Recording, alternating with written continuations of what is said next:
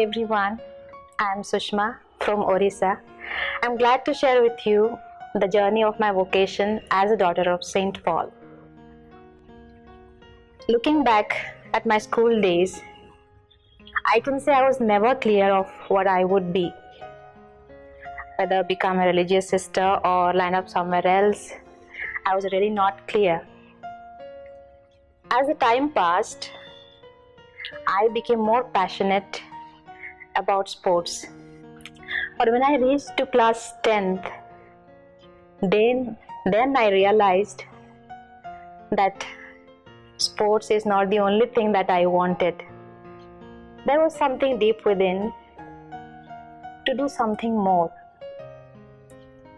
And as I finished my board exam, I had to decide what I really want to choose for my life. And with much confusion, I decided I will join the religious congregation. I, didn't I was not really sure, even though I studied with sisters, where to join. And so I decided I'll go for the camp and see many other congregations. I went there, and the previous night of uh, meeting the sisters of different congregations, I prayed so hard, which I had never done in my life. And even I read the Word of God, holding it, sat till late night, reading, reading, reading, and waiting that God would tell me, okay, Sushma, join this congregation. Nothing happened.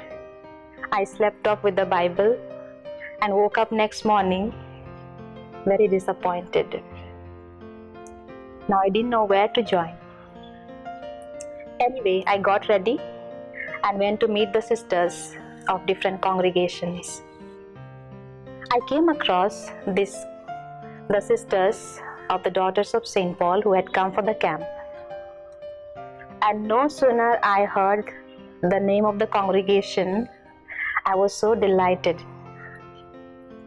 I knew St. Paul. I have had heard much about St. Paul and I liked St. Paul. And so that attracted me, and I said, I will join this congregation. So I joined the Daughters of St. Paul at Bandra, Mumbai. I was very enthusiastic, overjoyed, and did everything so well. And something came in between that the world looked even more colorful from the convent, even more attractive, easy, and enjoyable. I said, This will not do. I must go back. This was not all. After some time, my father was very sick. Almost for three months, he was in the hospital on the verge of resigning his job. And this was another thing that challenged me if I should continue. I was really confused. Should I continue to be here or should I go back, take care of my family, get a job, and have my own family? All these thoughts kept haunting me. And this reason became even more, even more reasonable to go away from the convent. After some time, within with all these confusions and uh, struggles that I went through, voice within me was telling me something more. That Sushma, the Lord wants something more from you. Then I started thinking what the Lord wants of me. I prayed earnestly